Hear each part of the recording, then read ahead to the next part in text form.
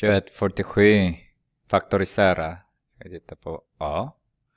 Vi har 2 upphöjt till x addera med 2x 2 upphöjt till x plus 1 där. Eh, ja. 2 upphöjt till x kan man skriva 2 upphöjt till x och 1. Det det är produkten. Det är produkten, en faktoren till, faktorer till 2 upphöjt till x. Men 2x upphöjt till 2 upphöjt till x plus 1 är 2 upphöjt till x multiplicerar med 2.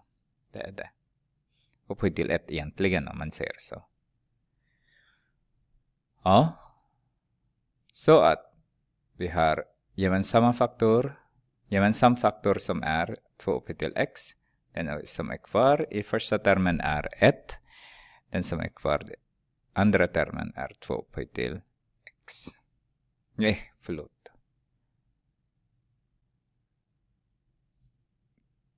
Två. Och då kan vi förenkla ännu mer. 1 plus 2 är 3. 2 multiplicerar med 2 upphöjt till x. Där b. Vi gör exakt samma där. 3x äh, upphöjt till x plus 2 kan man faktorisera med 3 upphöjt till x. Multiplicera med 3 upphöjt till 2. Sen 3 upphöjt till x kan ni multiplicera 3 upphöjt till x multiplicera med 1. Så har vi gemensam faktor som är 3 upphöjt till x. Sen vi har 3 upphöjt till 2 är 9. Minus 1. Så kommer det nu. 8 multiplicerar med 3 upphöjt till x. Sen tar vi c. Har vi u plus v i parentes multiplicerar med x plus u plus v i parentes multiplicerar med y. Som du ser nu har vi u plus v som är gemensam faktor. Så skriver vi det utan parentes. u plus v och sen en annan parentes, den som är kvar. Alltså x.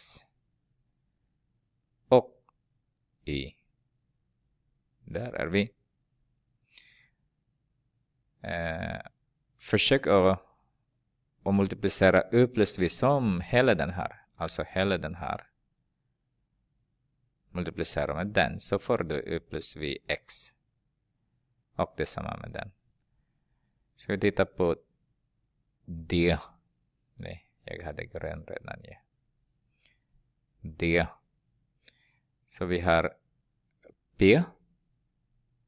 5 x multiplicerar med 5, 5x minus y parentes minus q multiplicerar med 5x minus y i parentes.